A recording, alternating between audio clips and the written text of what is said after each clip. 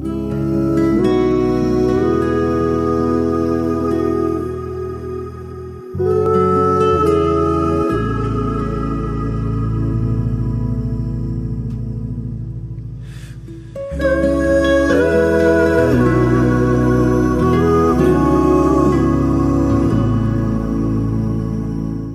Shalom, puji Tuhan, kita berjumpa lagi dalam program Biblical Enlightening Study Training yang disingkat BEST, yaitu pelajaran teologi secara sederhana yang bisa ditransfer juga di STT, di mana kami juga punya STT atau di tempat lain yang mau mengakuinya.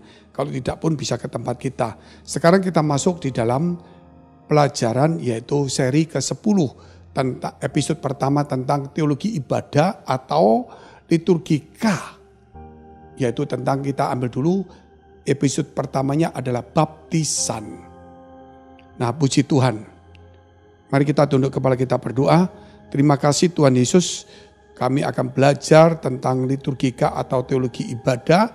Supaya kami boleh mengerti apa yang ada di dalam ibadah itu sendiri. Supaya kami boleh menyikapi dan melakukannya dengan bijaksana Demi nama Tuhan Yesus Kristus supaya tidak membuat satu perdebatan, perselisihan karena liturgika atau teologi ibadah dan di dalamnya itu banyak sekali variasi dan masing-masing gereja atau denominasi mempunyai pandangan yang berbeda-beda. Namun tujuannya tetap satu. Oleh karena itu Tuhan biar kami belajar secara garis besarnya apa yang perlu kami pelajari makna-maknanya tentang secara detail Tuhan kami tidak mau Beri kepada kami hati yang bijaksana supaya kami tidak membuat perdebatan dalam nama Tuhan Yesus. Haleluya. Amin.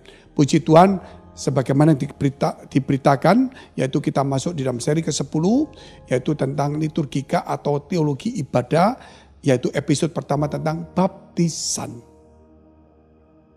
Baptisan. Baptisan berasal dari kata baptiso. Artinya ditenggelamkan atau dicelupkan. Ada juga yang mengatakan baptiso itu berarti keluar dari air. Ada juga yang mengatakan demikian. Sehingga banyak orang berkata kalau baptis itu berarti ditenggelamkan atau keluar dari air. Nah ada juga dicelupkan tetapi ada juga yang berbicara hanya cuman air dipercikkan yang penting ada airnya. Itu masing-masing orang mempunyai pandangan dengan bahasa pengertian yang ada yang lebih dalam lagi, itu terserah. Tetapi kita bicara secara umum saja. Kolose pasal 2 ayat 12. Karena dengan dia kamu dikuburkan dalam baptisan dan dalam dia kamu turut dibangkitkan juga oleh kepercayaanmu kepada kerja kuasa Allah yang telah membangkitkan dia dari antara orang mati. Sehingga saudara kalau kita lihat baptisan itu timbul perdebatan. Ada baptisan selam, ada baptisan percik, Eh kemudian muncul lagi baptisan anak boleh apa enggak. Muncul lagi persoalan yaitu baptisan ya yang namanya harus berbentuk saudara di laut, ada yang mau di sungai, terus ada yang sekarang lebih macam-macam lagi baptisannya harus mengambang. Jadi masuk ke air terus seperti mati. Orang kalau mati di air kan ngambang. Jadi mereka mengambil seperti itu pandangan. Tetapi yang maknanya baptisan itu harus ada air yang menggambarkan bahwa kita ini sama seperti Kristus telah mati dan kita telah bangkit. Bukan bicaranya ditenggelamkan apakah ada kebangkitan iman. Saudara kalau kita bicaranya kematian unuh sesuai dengan ajaran bahwa kita harus mati sesuai tenggelam itu dan kita bangkit. Bangkitnya bentuknya apa? Oleh karena itu lebih menekankan saudara kematian dalam bentuk apa saja silakan. Tetapi yang perlu kebangkitan iman itu loh. Sebagai orang bijaksana, sebagai orang yang berhikmat. Ingat ketika penjahat di samping Yesus pun tidak sempat dibaptis. Namun dia masuk ke Firdaus. Sehingga kata-kata ini jangan membuat atau cerita kisah tentang penjahat di samping Yesus ini. Jangan membuat kita berdebat tentang hal-hal bentuk baptisan tetapi kalau kita sempat melakukan baptisan, itu juga menggenapi lebih sempurna, lebih baik. Namun jangan sampai kita terjebak di dalam halnya itu. Nah terus kita melihat Kisah Rasul 8 ayat 36. Mereka melanjutkan perjalanan mereka dan tiba di suatu tempat yang ada air. Ada air, saudara. Berarti ada, ada air itu bisa saja ada kolam, mungkin juga ada air biasa. Lalu kata sida-sida itu kepada Filipus, lihat di situ ada air. Apakah halangannya jika aku dibaptis? Maka Filipus pun membaptis ya itu sida-sida itu. Sehingga kalau kita melihat saudara bahwa pentingnya baptisan itu kalau kita sempat kita harus dibaptis. Jangan kita spekulasi seperti penjahat di samping Yesus. Namun jangan sampai kita berdebat tentang baptisan apa yang benar. Karena kita tahu bahwa penjahat, penjahat itu juga masuk kerajaan surga tanpa dibaptis. Sehingga melalui penjahat di samping Yesus yang ke, ke Firdaus ini, saudara ada dua pengertian yang kita bisa menerima dengan hikmat. Pertama, jangan menunda-nunda baptisan selama kita bisa. Dan kedua, jangan mempersoalkan baptisan, bentuk-bentuk baptisan karena dia tuh juga masuk ke surga. Haleluya. Sehingga dia kalau saudara di gereja saya, gereja saya itu boleh dikatakan Pantekosta juga karismatik karena kami juga ada yang yang namanya baptisan baptisan uh, selam, juga ada baptisan juga percik di tempat kita. Dan di tempat saya juga ada doa bapak kami juga. Kita tempat saya juga ada nubuatan, ada pasaro, tapi itu bukan utama. Tapi kita mengaku itu, namun kami lebih mengarah kepada hal yang inti, yaitu kembali ke ajaran Yesus, karakter Yesus, kami punya misi. Kalau misi, kami tidak mau membedakan antara baptisan, dua bapak kami, Pak Saro, karena kami ingin supaya mereka percaya Yesus terlebih dahulu. Dibaptis bentuk apa terserah. Sehingga kami tidak mengecilkan atau menghambat orang-orang bertobat dan membuat sukar masuk kerajaan surga. Tapi tugas kami memberitakan Injil. Sehingga di tempat kami ada beberapa hal yang saudara yang berbeda itu di tempat gereja kami dua-dua itu berlaku juga. Dan beberapa tokoh, tokoh di tempat kami juga pun pemimpin yang sudah percik gak perlu dibaptis lagi. Ada yang mungkin memang waktu mau dibaptis ya atau seorang pemimpin itu karena perempuan dan dia itu memang waktunya mens sehingga dia tidak bisa di ya maksud, maksudnya tenggelam, tetapi akhirnya dipercik juga nggak masalah karena memang situasi seperti itu. Sehingga kita kami tidak pernah membicarakan mempersoalkan sebisa mungkin tenggelam, nggak bisa ya percik, saudara. Tapi yang penting adalah percaya Yesus dan sempat dibaptis nomor satu itu dulu. Haleluya.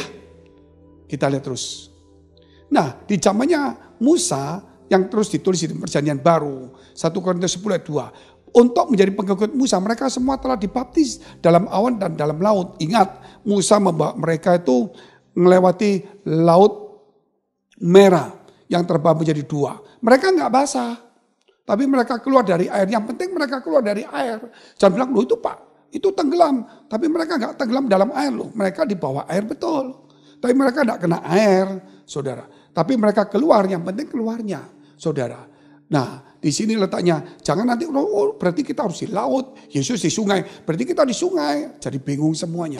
Saudara, oleh karena itu, itu di awan-awan. Dibaptis oleh awan. Saudara. Nah, tambah lagi. Saudara, kalau membuat satu polemik perbedaan, tambah kacau gereja. Saudara, tambah banyak perbedaan. Jemaat jadi bingung. Jadi saya melalui teologi ibadah atau liturgika ini membuat satu pandangan mana utama, mana tidak utama. Menjadi bijaksanalah saudara, supaya kita tidak sampai menyalahkan satu dengan yang lainnya. Oke kita lihat terus tentang perjanjian nama di zamannya Musa. Keluaran 40 ayat 30. Di tempatnya lah bejana pembasuhan di antara kemah pertemuan dan mesbah itu lalu ditaruhnya lah air ke dalamnya untuk pembasuhan. Jadi kalau kita lihat tabernakel itu di halaman. Halaman itu ada mesbah bakaran, ada juga tadi bejana pembasuhan. Artinya setiap orang yang berbuat dosa atau salah tanpa sengaja dia harus pergi ke tempat satu kota perlindungan. Kota perlindungan itu berarti kota-kota yang ada tempat seperti tabernakelnya, yang ada tempat kemah sucinya atau sinagog yang berbentuk kemah suci di mana ada halaman, ada tempat kudus, ada tempat maha kudus. Nah, di tempat halaman itulah para imam-imam melayani, yaitu mereka yang berdosa ini harus pakai mengorbankan bentuk anak domba ini, atau domba, atau lembu, atau burung perpati. Nah, saudara, sesuai dengan kriteria kesalahannya dia. Setelah itu juga ada yang kolam pembasuhan, yaitu disucikan, dibersihkan melalui air itu. Tetapi ketika mereka masuk ke tempat itu tadi kota perlindungan, masuk bukan di kotanya, tapi ada kota perlindungan, tapi ada tempat itu. Sebagai sucinya. Begitu mereka sampai di pintu, mereka tidak boleh dipegang atau ditangkap. Karena itu sudah masuk di wilayah ketuhanan, keimaman, kerohanian. Dan mereka tinggal memberikan persembahan korban penebus salah, bukan penebus dosa. Karena penebus dosa saudara Yesus Kristus itu. Nah di situlah makanya Yesus pernah berkata, akulah pintu. Jadi siapa masuk melalui aku menemukan padang. Nah ketika saudara percaya Yesus, saudara masuklah di dalam menerima yang namanya pembasuhan dosa. Ya korban dosa itu Yesus sudah terima. Dan saudara masuk di pembasuhan, Nah itu seperti penjahat di samping Yesus juga sudah dibasuh oleh darah Kristus. Sehingga masuk di Firdaus. Nah kemudian kita masuk tempatnya lagi. Ada yang ketiga, ada ruang kudus. Di sana ada meja perjamuan. Nah kita nanti kalau kita bicara perjamuan, perjamuan suci itu menggambarkan tentang darah Yesus dan tubuh Kristus. Dan setiap orang boleh melakukannya sebulan sekali atau mungkin setiap minggu. Tetapi kalau setiap hari mungkin berkelebihan, maknanya akan hilang. Tetapi itu disertai dengan rasa suci, menghormati kematian, menerima kematian bahwa Yesus memang mati untuk dosa kita. Itu menegaskan bahwa Yesus memang mati. Dan dia memang bangkit. Makanya kita ada perjamuan, roti itu menggambarkan tubuh Kristus yang disalib itu. Anggur itu juga menggambarkan darah Yesus. Itu menggambarkan persekutuan dengan Kristus tubuh dan darah Kristus. Sehingga itu harus berpola kesucian. Harus berbicara tentang kesucian. Jangan menjadi satu kebiasaan terus meremehkan saudara. Atau untuk kesembuhan ngusir setan itu mungkin sifatnya kecil tetapi jangan sampai mengarah ke sana. Lebih mengarah kepada persekutuannya dulu. Jangan sampai dikecilkan untuk ngusir setan terlalu kecil. Darah Yesus untuk ngusir setan terlalu kecil saudara. Ya, tidak bisa saudara. Bagaimana darah Kristus itu luar biasa besarnya. Jadi kalau kita melihat darah Kristus itu untuk kalau kita ngusir setan, aduh saudara, betul-betul darah Kristus itu sangat berharga lebih daripada itu. Namanya saja bisa mengusir setan. Buat apa saudara? Darahnya membasuh seluruh dosa umat manusia.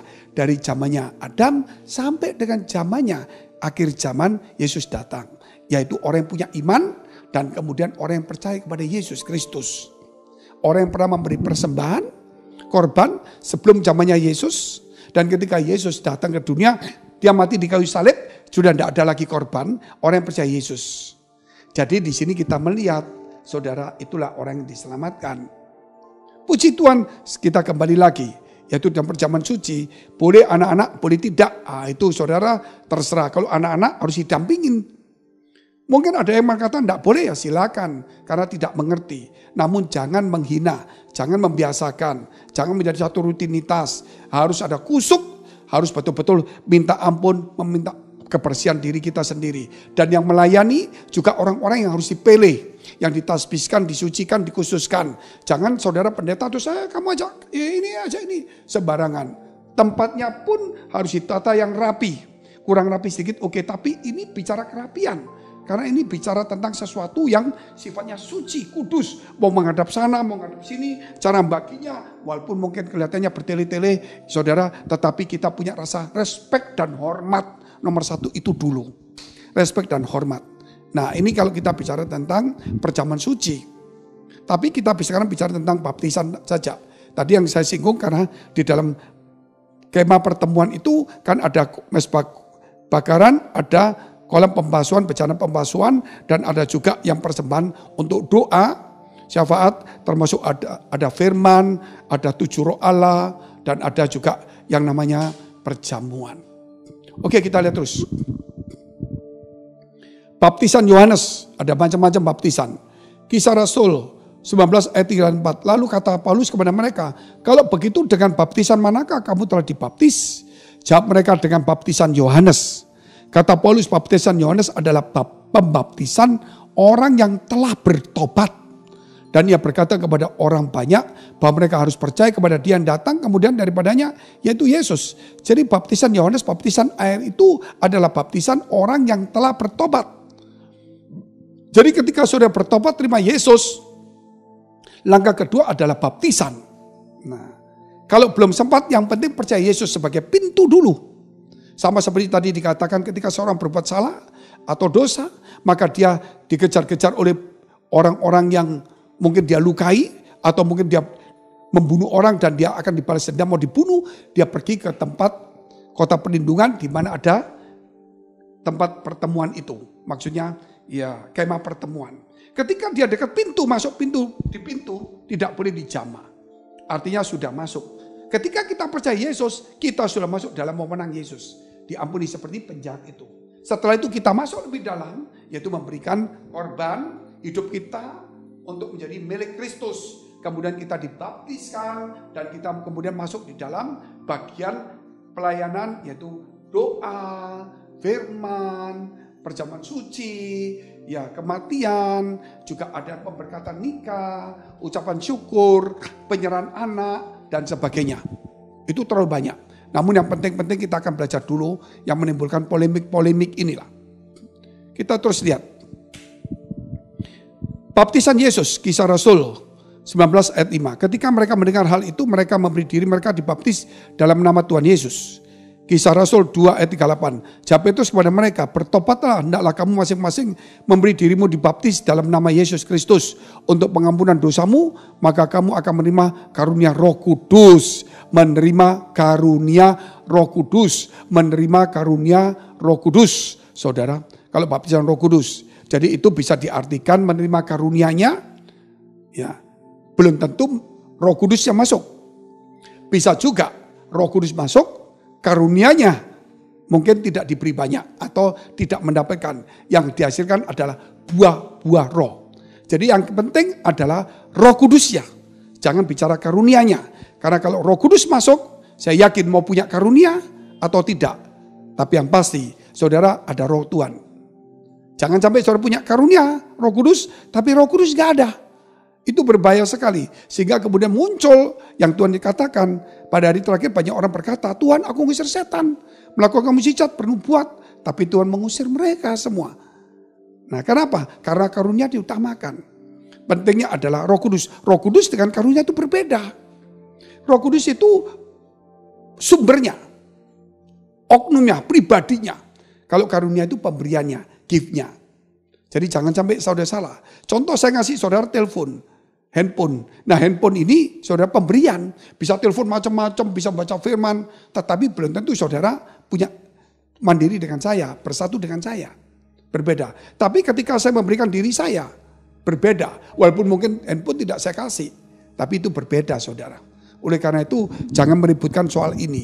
Tetapi kita kembali lagi. Baptisan Yohanes, baptisan pertobatan, baptisan Yesus adalah baptisan api dan roh kudus.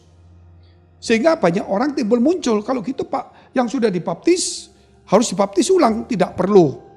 Karena waktu baptisan kita dalam nama Bapa, Putra, Roh Kudus dalam nama Yesus. Cukup saudara. Ada lagi yang baptisan yang baru.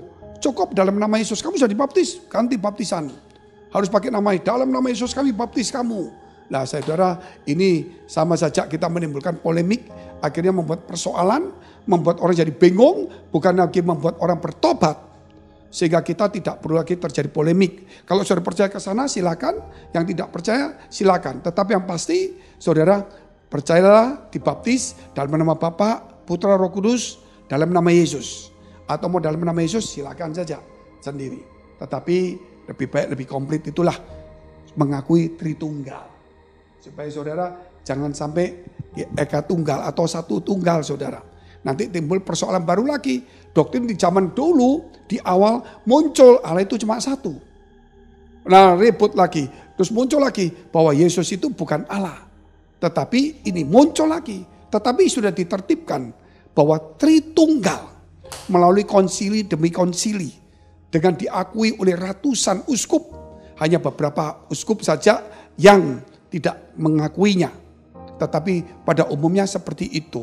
Oleh karena itu jangan menimbulkan persoalan yang sudah dilarang atau sudah tidak dipakai, saudara memakai lagi. Kita mengikuti bukan berarti itu salah, mengikuti karena itu bapak-bapak rohani ya yang di awal yang lebih tahu dan lebih matang mengenai bahasa aslinya, budayanya, lingkungannya dan semuanya. Puji Tuhan. Kita lihat terus. Baptisan Roh Kudus. Markus 1 ayat 8. Aku membaptis kamu dengan air, kata Yohanes pembaptis, tetapi Yesus akan membaptis kamu dengan roh kudus.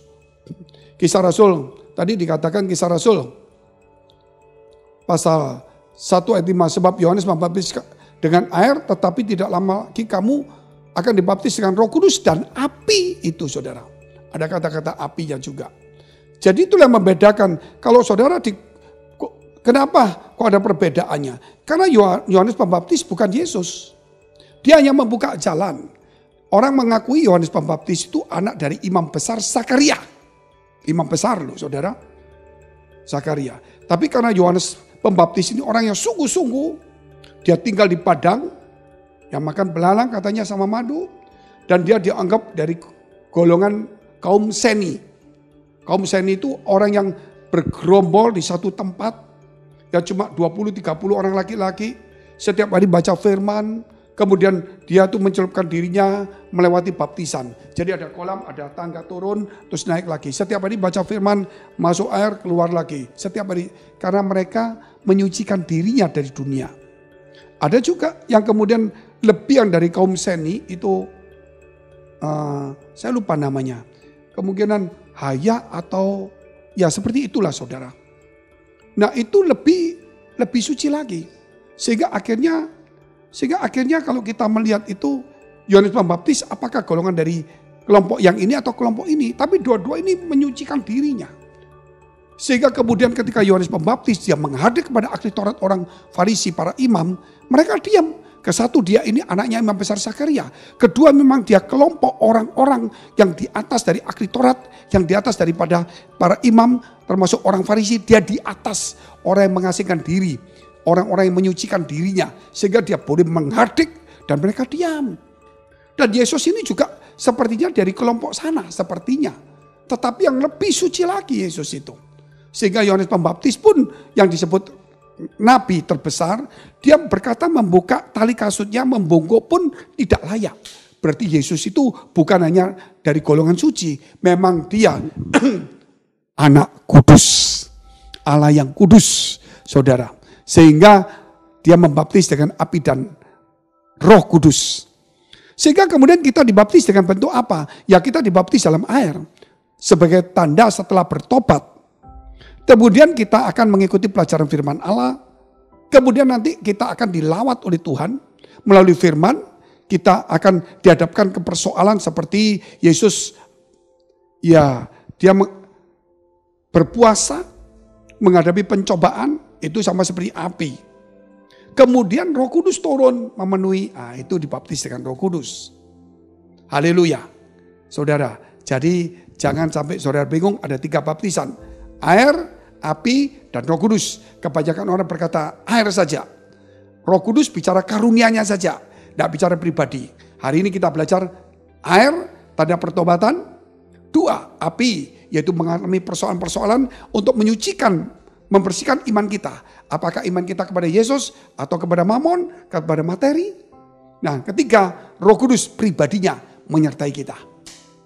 Terus kita lihat. Baptisan api, Lukas 3:16. Yohanes menjawab dan berkata kepada semua orang itu, Aku membaptis kamu dengan air tetapi ia yang lebih berkuasa daripada aku akan datang dan membuka tali kasutnya pun aku tidak layak. Ia akan membaptis kamu dengan roh kudus dan dengan api. Termasuk kalau kita lihat di dalam uh, kitab Ayub 23 ayat 10 ya. Dikatakan bahwa seandainya Tuhan menguji aku maka aku akan keluar. Nah, keluar seperti emas murni. Dan emas itu diuji oleh api. Sehingga menjadi murni. Seandainya Tuhan menguji aku maka aku akan keluar. Menjadi emas yang murni. Saudara puji Tuhan. Jadi kita akan dibersihkan melalui problem, masalah persoalan, gejolak-gejolak kikis mengikis ya yang ada di gereja antar sesama kita tujuannya supaya membersihkan ego kita hal-hal yang tidak baik supaya karakter Kristus ada pada kita. Kita terus lihat. Tujuan baptisan menggenapi rencana Allah. Jelas. Matius 3, 14, 15. Tetapi Yohanes mencegah dia, yaitu Yesus, karena karena Yesus mau dibaptis oleh Yohanes, Yohanes mencegah. Katanya, akulah yang perlu dibaptis olehmu dan engkau yang datang kepadaku. Lalu menjawab katanya kepadanya, biarlah hal itu terjadi karena demikianlah sepatutnya kita menggenapkan seluruh kehendak Allah dan Yohanes pun menurutinya. Jadi kehendak Allah, kehendak Allah untuk soal baptisan ini pertama dibaptis. Kedua, Yesus walaupun Allah juga harus mengikuti baptisan. Kehendak Allah apa? Ketika saudara Yohanes membaptis, walaupun ada Yesus, dia tidak dibaptis oleh Yesus. Dia yang membaptis. Jadi di sini ada satu pandangan sehingga saudara jangan sampai kita ini harus dibaptis bentuk ini, harus dibaptis bentuk ini, air ini. Yohanes pembaptis yang baptis saat itu tidak dibaptis siapa pun juga. Bahkan Yesus tidak membaptis dia, namun dia disebut nabi terbesar. Bahkan dia membaptis Yesus. Oleh sebab itu, baptisan jangan dilepas, diperdebatkan. Yang penting saudara punya waktu, silakan mengikutinya untuk kehendak Allah. Siapa pun saudara, mungkin seorang pendeta mau dibaptis di Sungai Yordan di mana pun, saudara mau dibaptis hmm. untuk kehendak Allah. Bukan merendahkan derajat kita, bukan. Tapi untuk menggenapi. Kerap kali kita mengatakan, wah derajat saya turun. Wah saya kalau nggak dibaptis dengan ini, nggak air, dengan tenggelam, dengan air laut, dengan ini, nggak bagus. Jangan berkata begitu. Untuk menggenapi kehendak Allah. Ya, untuk juga kita lihat selanjutnya Tujuan baptisan, mati dan bangkit bersama Yesus. Roma 6 ayat 3 dan 4. Atau tidak tahukah kamu bahwa kita semua telah dibaptis dalam Kristus, telah dibaptis dalam kematiannya? Dengan demikian kita telah dikuburkan bersama-sama dengan dia oleh baptisan dalam kematian. Supaya sama seperti Kristus telah dibangkitkan dari antara orang mati oleh kemuliaan Bapa. Demikian juga kita akan hidup dalam hidup yang baru. Jadi baptisan itu mengandung arti juga Waktu kita masuk atau waktu kita dipercik, anggap aja kita mati.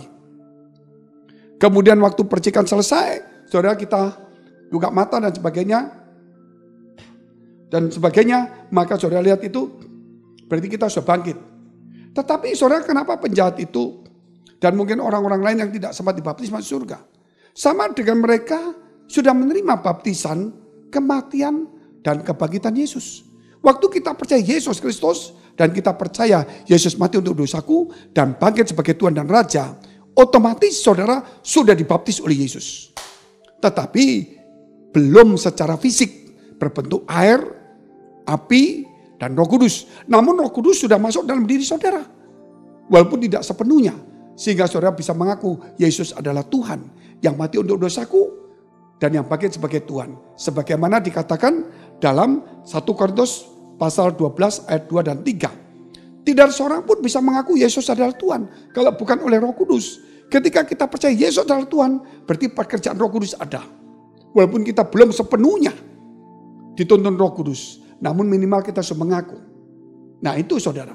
Jadi sudah ada baptisan Roh Kudus kecil, mungkin begitu, atau lawatan Roh Kudus. Namun kemudian kita perlu dibaptis air. Kemudian kita dalam perjalanan hidup melalui banyak masalah persoalan supaya dewasa. Kemudian ada baptisan roh kudus. Yaitu artinya saudara dipenuhi oleh roh kudus, ditonton oleh roh kudus sehingga berbuah-buah daripada kebenaran atau roh kudus. Bukan hanya punya karunia. Kita lihat terus.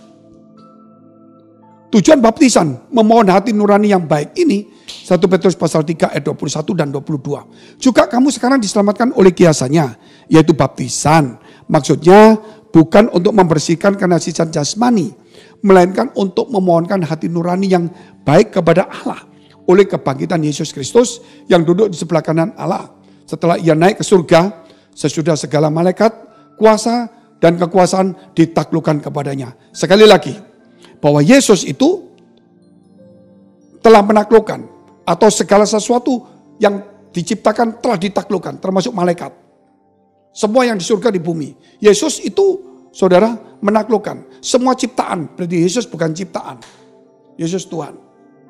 Dan dikatakan tujuan baptisan Bukan membersihkan kenasisan jasmani. Tetapi memohonkan hati nurani kepada Allah. Karena ketika kita percaya Yesus, dosa kita sudah dibersihkan.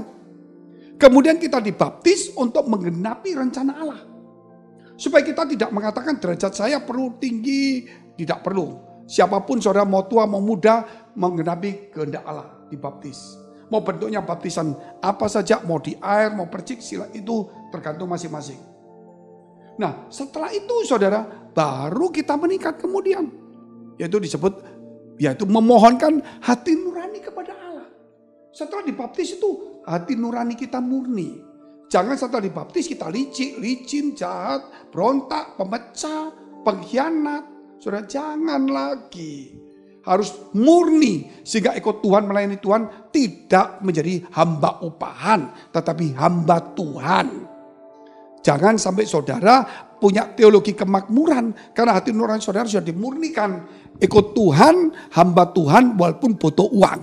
Tapi tetap hamba Tuhan. Bukan hamba uang, butuh Tuhan. Itu beda. Karena sudah dimurnikan sehingga ikut Tuhan tidak ada motivasi lain. Melayani tidak ada motivasi lain. Jangan punya motivasi buruk seperti Taurat orang Farisi. Mereka punya motivasi ingin dipandang orang, ingin dilihat orang sebagai orang suci, supaya dia itu saudara mendapatkan di mana-mana hormat, juga dia mulai menjadi hamba uang. Dikit-dikit dan saudara persembahan. Oke, kita terus lihat. Tujuan baptisan mendapat pengampunan dosa. Maka datanglah Yohanes ke seluruh daerah Yordan dan menyerukan, bertobatlah dan beribu dibaptis dan Allah akan mengampuni dosamu. Jadi kalau kita melihat saudara, kalau kita sudah percaya Yesus, kita harus bertobat. Lah untuk bertobat itulah kalau kita mengatakan baptisan itu adalah baptisan menunjukkan pertobatan. Kalau kita percaya Yesus sudah percaya dalam hati kita. Namun apakah orang itu percaya sungguh-sungguh kan kita tidak tahu. Untuk menyatakan dia sungguh-sungguh lah dia perlu dibaptis. Sama seperti meterainya lah. Suratnya saudara. Makanya ketika saudara percaya Yesus gak ada surat. Tetapi ketika saudara percaya Yesus dan dibaptis, surat itu keluar. Surat baptisan. Nah, tapi apa pun juga, yang penting percaya Yesus terlebih dahulu. Kemudian, saudara baptisan. Nah, bagi orang-orang yang tidak sempat dibaptis, mungkin kalau orang-orang masuk di rumah sakit, kita sebagai orang yang mungkin pada kosa karismatik, jangan menyusahkan sampai membuat air dan menenggelamkan di situ. Ya saudara punya iman lah. Baptis saja mungkin dengan air secukupnya atau percik tapi kalau saudara tidak meyakini ini, ya jangan ikut-ikut pandangan saya.